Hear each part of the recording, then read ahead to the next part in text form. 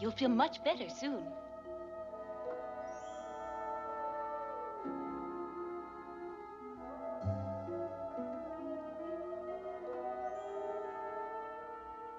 Don't you see it? Here and here. I don't understand. You will.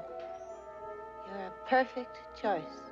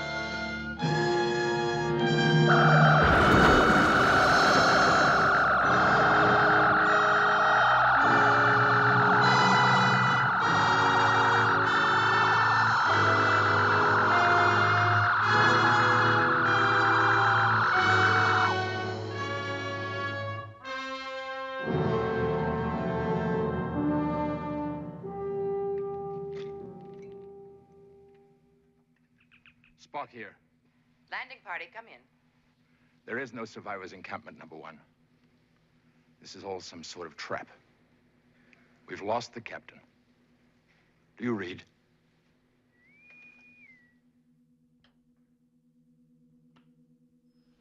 What is it? It's for Commodore Mendez.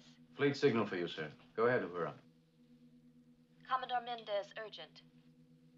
Subspace monitors show Enterprise receiving transmissions from planet Talos 4 in violation of Starfleet general orders. Receiving transmissions from Talos 4. And the images we've been seeing are. Are coming from Talos 4, sir. Captain Kirk is hereby relieved. You are ordered to assume command of the Enterprise. Disable vessel if necessary to prevent further contact. Message sign, Comsol Starfleet Command. Mr. Spock, you're aware of the orders regarding any contact with Talos 4. You have deliberately invited the death penalty. You've not only finished yourself, Spock, but you finished your captain as well. Commodore must be aware that Captain Kirk knew nothing of this. And you're aware that a captain is responsible for everything that occurs on his ship. I order you to return this vessel back to manual control.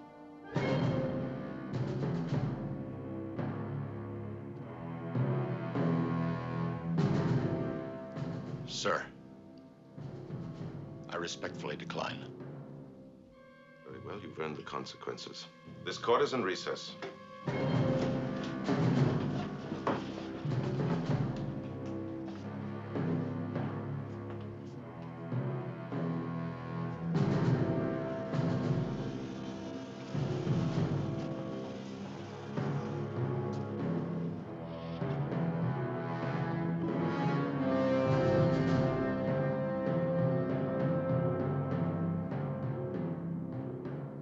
You know what you're doing?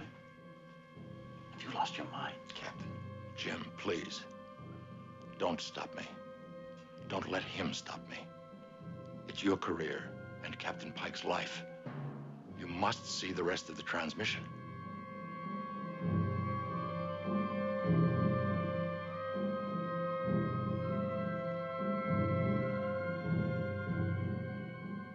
Lock him up.